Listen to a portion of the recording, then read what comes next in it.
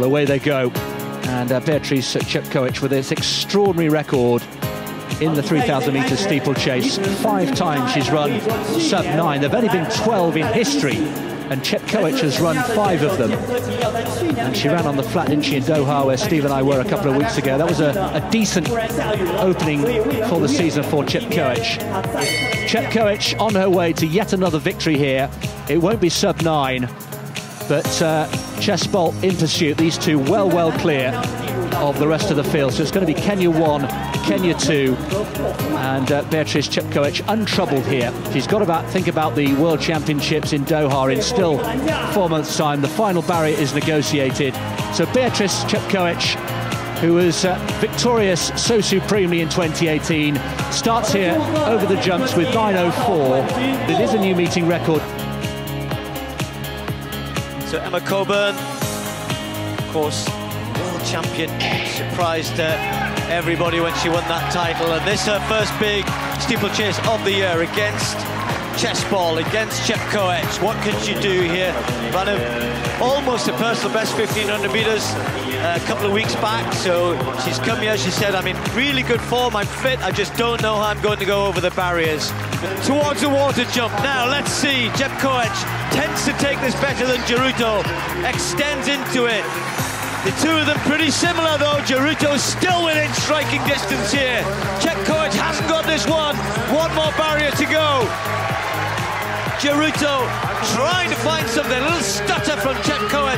Jeruto's over. Now the sprint starts. Chepkoech has not got enough to hold her off, or has she? No. Jeruto comes in for the victory. 9.03. Kiyeng will take third place. Well, strangely, on so many of these steeplechasers, relatively poor on the flat. So, will they hit these uh, splits that we've been told, I think are a little bit ambitious for this early in the season. 400 metres due to get, they get to that's in uh, 70 seconds, 220 for 800, and obviously 330 for 1200 to stick to that uh, schedule which will threaten the world record. And looking absolutely fabulous, rocking from side to side.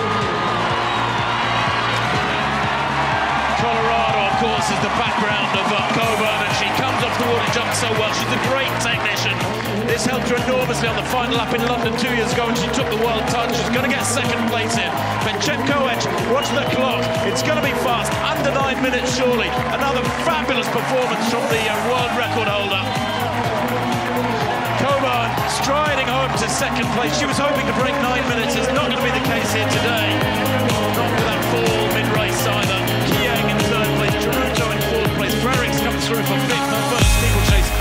Season. In bright sunshine. Meeting record. 2030. Chemos, also from Kenya.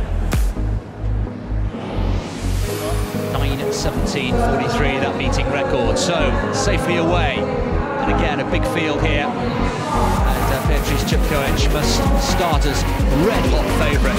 It's a question of uh, who can stop her, and will we see another sub-nine-minute performance? It would be difficult in these conditions, but we're seeing some excellent performances. They're asked for 2.57 for the first kilometre.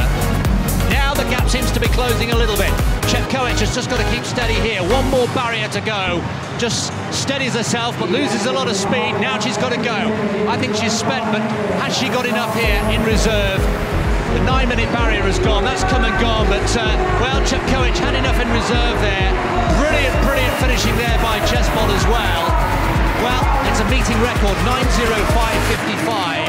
The, the previous mark rather soft 9.17 we mentioned from uh, Chemos from back in 2013.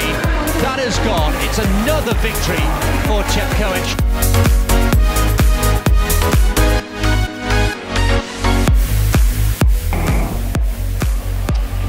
Just uh, over seven and a half laps of the track. Still only five women in history have broken nine minutes, which makes that world record by Beatrice Chepkoech all the more remarkable, 8.44. As Chepkoech comes to the water jump for the final time, a little zigzag there, almost like a chicane to get her stride right for the barrier. She clears it 20, 25 metres ahead of Kiyeng, who almost stumbles out of the water. But she still looks astonishingly relaxed and calm considering she put herself under enormous pressure. Was clearly going for the world record here tonight, but absolutely misjudged it with a suicidal first kilometre. Solid second kilometre, strong enough final kilometre to stay clear and wins here in Zurich. 304 that final kilometre. So her last two kilometres, 305 and 304 after 251. That is the story in a nutshell. Chepkoech winning in 901, Kiyeng 903, Jeruto 905, and Coburn, Welsh boy, did she suffer, sixth in 910.